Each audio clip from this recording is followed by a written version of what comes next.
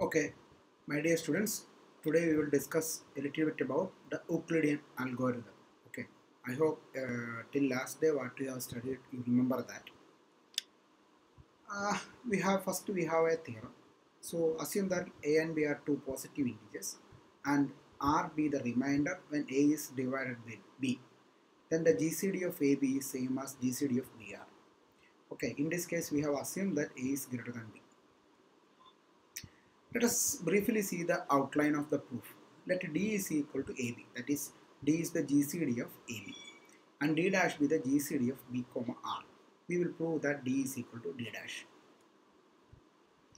So it is for to show that D is equal to D dash, D dash it is enough if we prove that D is equal to D dash and no, D divides D dash and D dash divides D. By the division algorithm, we, we can find a unique quotient Q such that A equal to BQ plus R. We first show that D divides D dash. Since D divides AB, D divides A and D divides B. So that so D will divide BQ. Okay. Therefore, D will divide A minus BQ. Since A equal to BQ minus R, A will be divided by D and BQ will be divided by B. So A minus BQ will be divided by B. So R is R will be D will divide R. Okay. Therefore D divides B, D divides R. Therefore D divides BR or the GCD of BR. That is D divides D dash. Similarly, we can show that D dash divides D. So D dash is equal to D or the GCD of AB is same as GCD of BR. Next, we will study the Euclidean algorithm. Let A and B be any two positive integers with A greater than or equal to B. If A equal to B, then the GCD of AB equal to A. We have nothing to, else to say. So assume that A is greater than B. If A is not greater than B, then B will be greater than or equal to A. So the process is similar by taking replacing A in this result by B. Let R0 is equal to B. Then, by the successive application of division algorithm, we get a sequence of equations A is equal to Q0 R0 plus R1, where 0 less than or equal to R1 less than R0. R0 is equal to Q1 R1 plus R2, where 0 less than or equal to R2 less than R1, etc.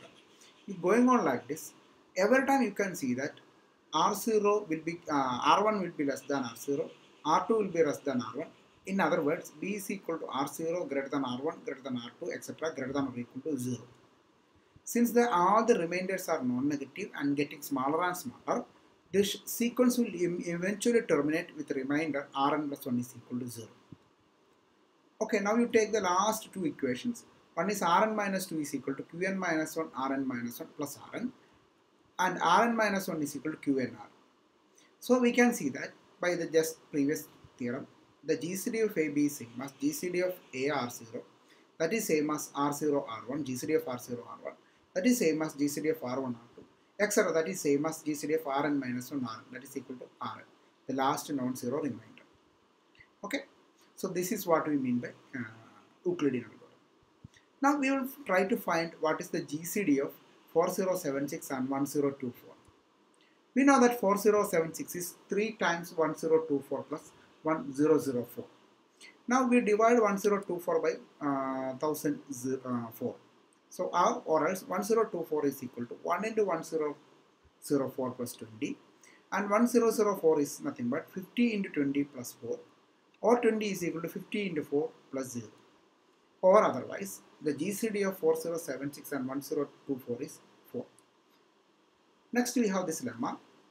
If alpha is equal to 1 plus root 5 divided by 2 then alpha n minus 2 is less than fn less than alpha n minus 1 where n is greater than or equal to 3. Next is Lamé's theorem. The number of divisions needed to compute AB, the GCD of AB by Euclidean algorithm is no more than 5 times the number of decimal digits in B where A greater than or equal to B greater than or equal to 2. I think proof of these two lemmas are not needed because it seems to be very much uh, long. So I think most probably examinations might not ask this proof of these theorems. Uh, try to learn this and if you have any doubt do ask me. We will try to do the thing. Okay